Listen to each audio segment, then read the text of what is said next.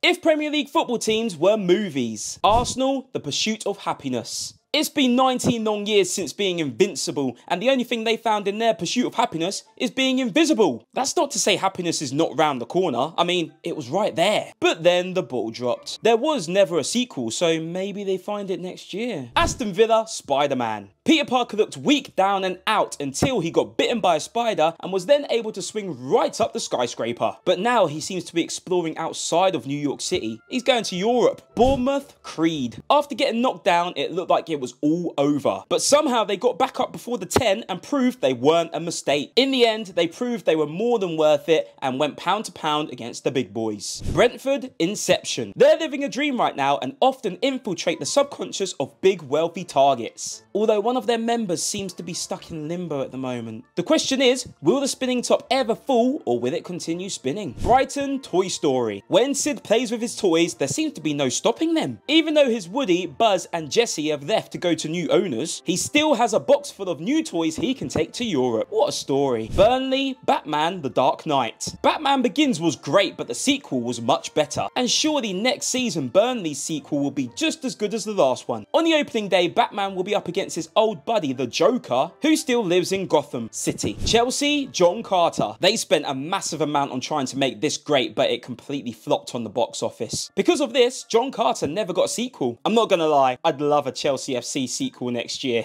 Crystal Palace, Armageddon. Most of the movie is set in the atmosphere, which is what Crystal Palace are pretty much known for, atmosphere. It's been 10 years since Crystal Palace were in the depths of hell. They've been close in recent times, but good old Bruce Willis saved them again from that asteroid. Everton the Terminator. However much you try to damage the machine, somehow it survives. We thought Judgment Day was on the 28th of May 2023, but a certain T800 fired in a goal to save humanity. They were once a very successful movie franchise, but the question is, will they be back? Fulham, Transformers Revenge of the Fallen. In the past, some of the machines have been rusty and needed some WD-40. But this season, they seem to have transformed and seeked revenge on everybody who called them a yo-yo team in the past. Although they still do have a Megatronus Prime who just loses his head and gets angry for no reason. Chill out, bro. Liverpool, Star Wars. Massive in the 70s, big time box office in the 80s, and then recently, the Empire seems to have struck back to the good old days. Well, maybe not last season, because the next movie is called Star Wars, The Return of the Europa League. It looks like Skywalker is going to have to battle Darth Vader to raise funds this summer so he can defeat all of his enemies on the battlefront. Luton Town, Mission Impossible. Jumping through massive hurdles and being the lowest of the low,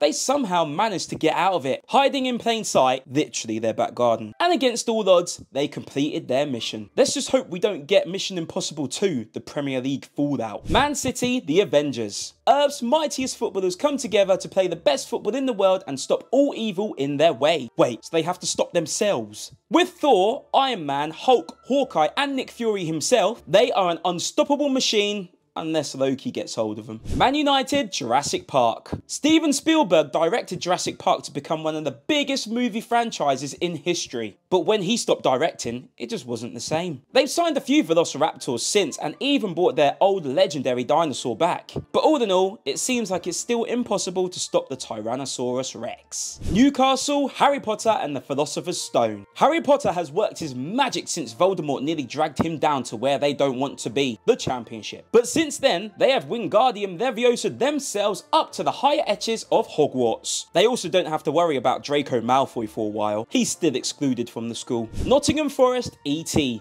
absolutely massive in the 80s and this season E.T. decided not to go home and explore planet Earth for a little bit longer. People still love this film and it will always be a cult classic, but younger fans probably go for something a bit different these days. To be honest, I could have done Nottingham Forest Robin Hood. It was right there. Sheffield United, The Green Mile. It's a movie where one minute you're up and next minute you're down. And in between all of that, we sometimes see some Oscar winning performances. Tottenham Bird Box. There's no direction and no one can really see the vision, literally. They walk around with blindfolds on to protect themselves from entities who will kill them if they look at them. So in this case, the entities are trophies. West Ham Green Street. Well, it speaks for itself, don't it? I literally had no choice but to pick this film for West Ham. It's Green Street. I mean, the film would look a lot different if it was filmed today. They'd have to include a new chant Something about winning a European trophy? Wolves, Max Steel. It's kind of just there, isn't it? It's not exciting, it's not horrible, but it just can't score big at the box office. So I have to give this movie a Rotten Tomato score of zero. Only joking, Wolves fans. You're not that bad.